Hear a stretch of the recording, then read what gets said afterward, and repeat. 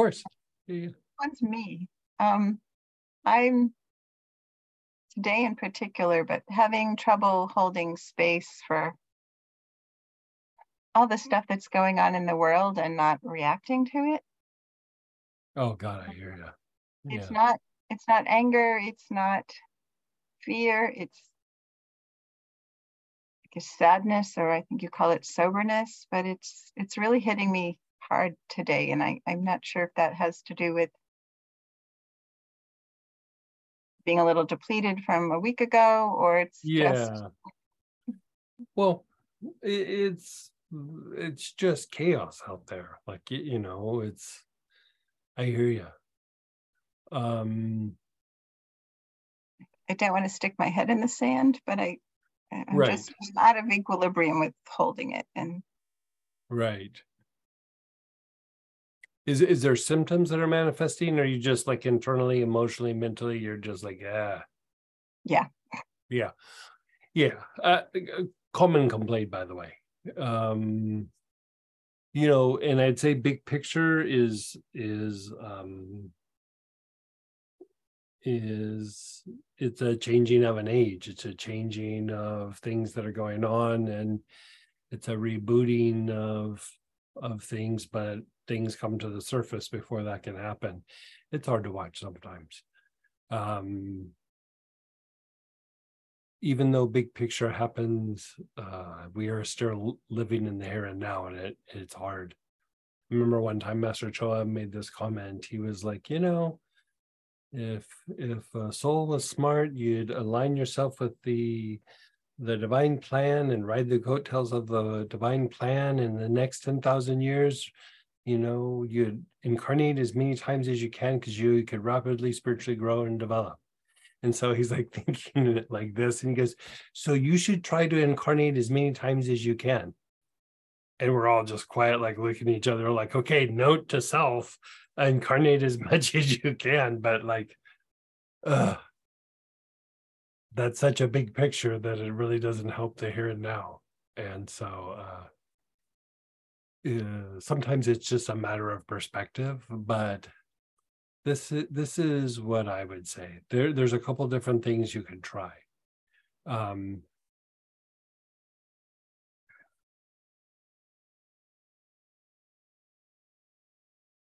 so one is the use of valerian and valerian not so much because it's um mm, like a sedative. One of the things that valerian's really good for is it's a restorative to the uh, homeostasis mechanism. You know it's a lot of change it's a lot of um, weirdness going on. We're having to adapt our perspectives and and things aren't always the same from week to week month to month you know quarter to quarter year to year over the last four or five years there's just been so much change. So the use of valerian um yeah you know i'd probably use it at night but you could use it during the day as well. Um it's similar to spikenard but it's a better restorative than spikenard. Um it just helps to restore the homeostasis mechanism which is the balancing aspects of your of your physiology emotions and mind um there's that component. And is that inhalation? yeah inhalation. You could put it a little bit like on your feet um in more extreme cases a couple drops in water and take it that way but inhalation will actually work. Um the other thing that i would say is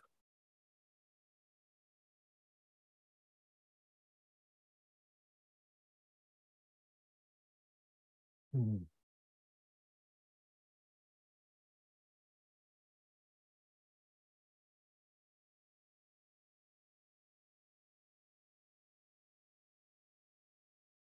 Give me a second here. I'm just kind of processing this for you.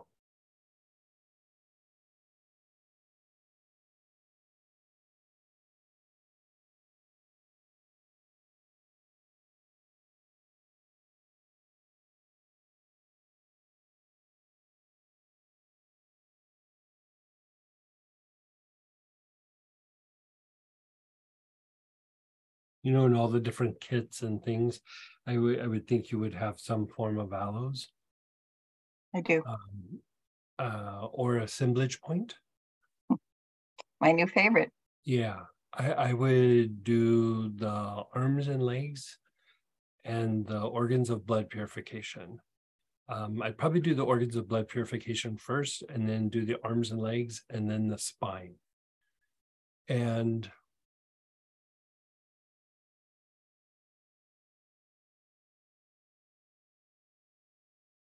the the thing that there's different reasons why you would work those particular components. Um, but if we come back to all the shifting and changing that's happening in the world,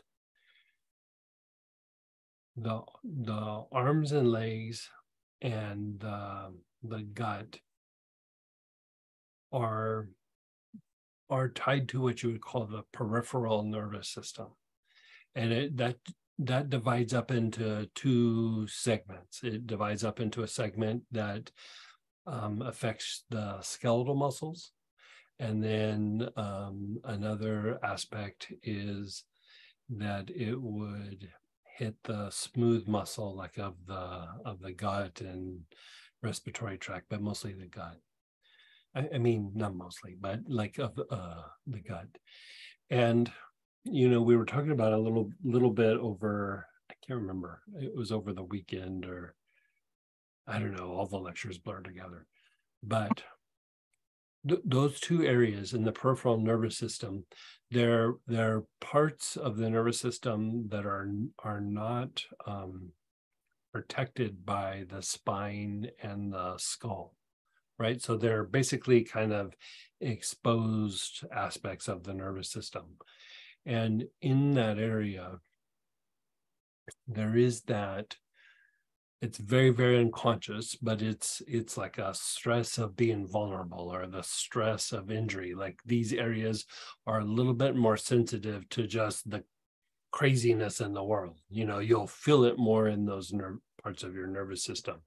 And then eventually it affects how we feel and then how we think and you know all that and it's not like we are mentally like grinding on it your nervous system is a little bit like eh eh there's craziness out there and you you know you perceive it and then that part of your nervous system goes we're all exposed here we gotta we gotta you know do something and so working the the organs of blood purification handles that vulnerability, that stress of vulnerability in the gut, and then treating the arms and legs uh, treats it in the, the more skeletal aspects of it.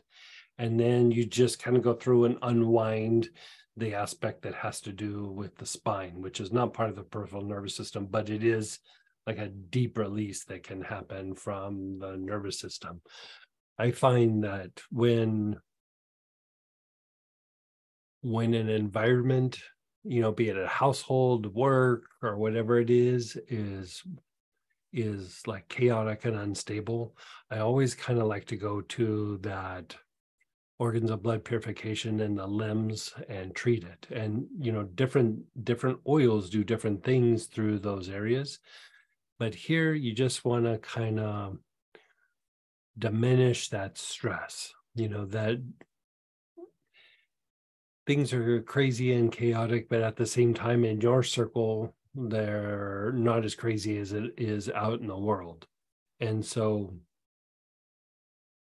hard not to perceive it in the news, but really your immediate, you know, your family, your home, all that stuff doesn't have that level or degree of craziness. And so we just need to flush that out somewhat.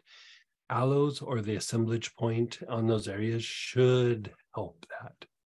You know, it should also put you in a place to where you're able to go deeper into sleep. And now, if it feels like it's really, really overwhelming at some point, I'd use marjoram and just inhale it. Like doesn't even have to be a pattern. Just start inhaling the marjoram and it will kind of pull you out of that and help you to go a little bit deeper it will transmute some of those things in the body. but I think the aloes or the assemblage point should be your go-to thing. Thank you so much. Um, and thank you for that explanation because I know it's not mental, but it, it makes sense when you talk about it in the nervous system. Yeah. Well, like here's here's the thing with with like we think of the um, mental body as just being activity in the brain, but we have activity in the gut and we have activity in what they call the root brain, which is tied to the sex chakra. It's not the root chakra, but that is more of like your instinctive responses to the environment. And um, your your mental activity is a byproduct of all three. It's not just one. And so some of the stuff that's happening is not just things in your head you know like if you think about it like the brain is like your thoughts the the the second brain or the brain in the gut is like like empathy or how it how things make you feel and then the the root brain done in the sex chakra is basically like instinctive responses or like what you would call like being triggered or things of that nature where you're just kind of reacting to things in the environment. It's not about sex, it's about just perceiving things in the environment and um, do we get triggered? Do is there an opportunity? Is there you know whatever it is what am i attracting? Like you know that kind of stuff. And all those make up our our uh, mental aspects. And even within the blood there is a kind of a mental reflective property that is in the bloodstream. It's not necessarily in the mind. You know, esoterically, if you look at what we would call the ego, is not in the mind, it's actually in the bone marrow. You know, it's it's all the different practices that do uh, blood purifications in in different ways what they're trying to do is they're trying to purify the blood and they're trying to purify the the bone marrow so it changes the mental faculties. And our mind is more of a byproduct of things rather than the one calling the shots. You know it's more of this accumulation of all these different aspects that's being processed.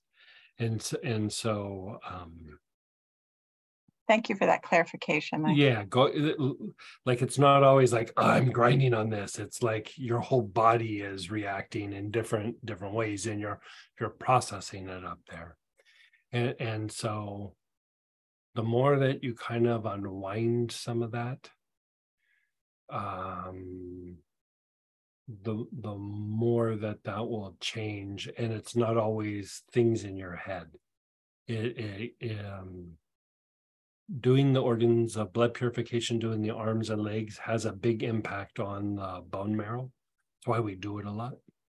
And um, in your meditation practice, storing things in the navel and the navel minor, you know, the secondary navel, will also have an impact on the bone marrow. And um, even doing long, slow, deep breathing with your awareness on the the navel will have an impact as well. And and so you could even fall back on some of those kinds of practices where if you're really feeling it, you can, you know, do a little bit of meditation or prayer and then put your awareness on the navel and just like breathe. Uh, do long, slow, deep breathing with your awareness on the navel. And it will shift. Um, I always find that to be it works, but it's slow. And I usually personally feel like I don't have patience for this.